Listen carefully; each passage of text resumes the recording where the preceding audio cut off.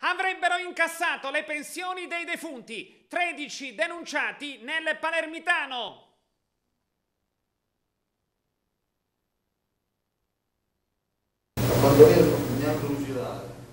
Mors tua vita mea, che tradotto dal latino è la tua morte e la mia vita.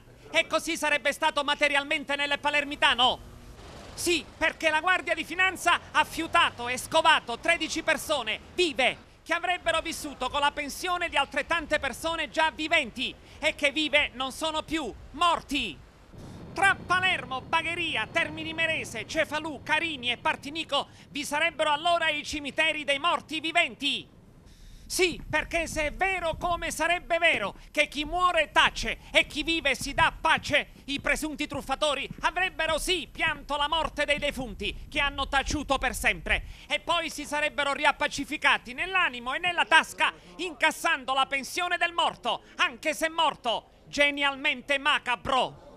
L'INPDAP, l'Istituto di Previdenza per i dipendenti dell'amministrazione pubblica, sarebbe stato truffato per 1.300.000 euro. A tanto ammonterebbe la somma di denaro erogata indebitamente. Le fiamme gialle hanno scoperto la truffa imperversando al setaccio negli uffici postali, dove ai 13 denunciati come delegati sarebbero state pagate le pensioni dei defunti. Pensate, alcuni morti anche da oltre 25 anni. Pensate, uno degli indagati non solo avrebbe incassato la pensione del genitore defunto, ma anche il sussidio di accompagnamento.